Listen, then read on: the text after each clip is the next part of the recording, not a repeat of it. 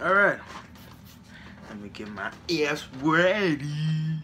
Anyway, sorry about that. But I'm just tired. Well, my phone bill got cut off, so I have to wait until my mom pays it. So I'm not gonna probably upload this video until, you know, probably tomorrow. Probably. Uh, anyway, story time. Well, you guys understand that my, the background is fucked up and basically, you know, this camera's not good and people think I look stupid. so, well, this is a little bit, you know, story time. If basically, if you don't know, guys, I have a girlfriend. Basically, she's a nice person, gentle person. Um, she really appreciates me and basically, understands me. But I'm gonna tell you a story about, you know, how I have to live through, um, God, should I say it, a baby. I know, how people's gonna be like, oh, why should I hear this story? It's not my problem. Well, if you just don't want to hear it, then get the fuck out of this video and click somewhere else. Because basically, this is not for you, you little dick sucker. Basically, the negative comments surrounding that. Oh, shit. Oh. Wait. Okay, good. Sorry. Sorry. But let me get to the story. I'm hearing noises in the background. So let me get to the story real quick. So if you guys don't know, I have a, a daughter. Some some of you guys know. Her name is Eileen. She's a little adorable baby. Well, she's a little adorable baby. Let's just say that.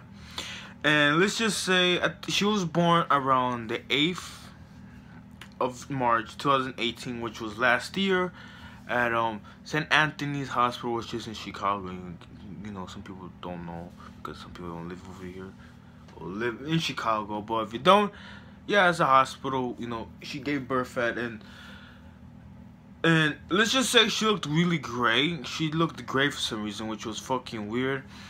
Um, but yeah, but like after that experience, you know, I was you know nervous as always. You know, a kid is fucking hard because you have to waste your time and money, your effort. You gotta try. You gotta go to therapy and all that crap. I don't want to get the details and what the hell I mean, but basically me and Maria, me and my girlfriend were basically doing this shit 24-7. Basically, if she cried, she did, and if she cried, I go. Basically, we took turns basically every fucking time.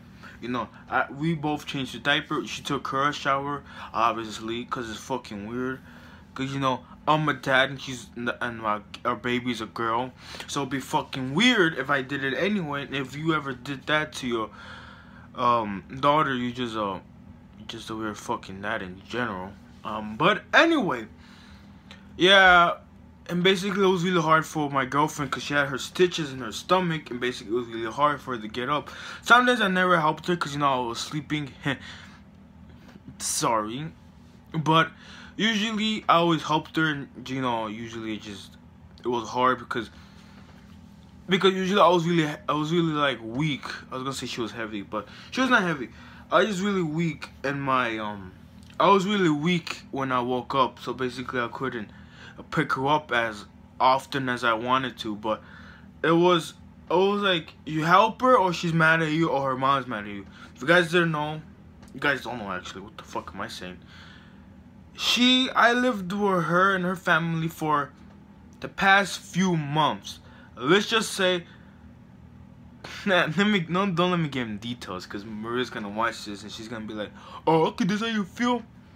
But it was good living over there. But they always got mad at me because I didn't work. And I understand that. God, just looking at me in this fucking camera, I look like a fucking caveman. Holy crap.